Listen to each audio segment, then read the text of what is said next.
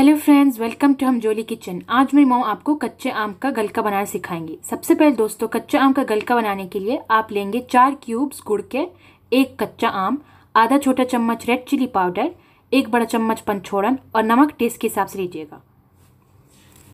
अब 250 हंड्रेड पानी लीजिएगा पॉट में और उसमें आप दोस्तों कच्चे आम डालिए। ये देखिए दोस्तों, ये गर्मी में बहुत ही अच्छी रेसिपी लगती है। ये मेरी मॉम की रेसिपी है। और दोस्तों, आप बाकी इंग्रेडिएंट्स डालिए पॉट में। जो मैंने आपको अभी बताए थे, एक बड़ा चम्मच पंचोड़न, आधा छोटा चम्मच लाल मिर्च पाउडर, नमक टेस्ट के हिसाब से लीजिएगा दोस्तों, और चार क्यूब्स गुड़ के। ये दोस्तों, कितना अच्छा लग रहा है। तो आपको ये गल का पकाना है जब तक आपके ये मैंगोज गल ना जाए सॉफ्ट ना हो जाए।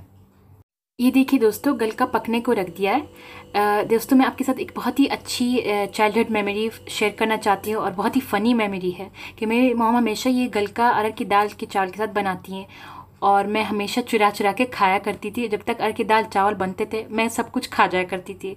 तो बहुत ही यमी लगता है दोस्तों ये कॉम्बो आप ज़रूर ट्राई करके बताइएगा। ये देखिए दोस्तों, गल का सर्व कर दिया है मेरी मॉम ने।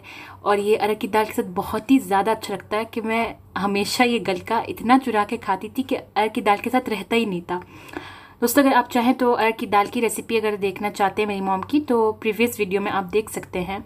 और सब्सक्राइब करना भूलें करना भूलें दोस्तों मेरे चैनल को, हम जोली किचन को। थैंक यू फॉर वॉचिंग और ऐसी दोस्तों, मेरी मॉम आपके साथ अच्छी अच्छी रेसिपीज़ और मैं आपके साथ अच्छी अच्छी मेमोरीज़ शेयर करूँगी थैंक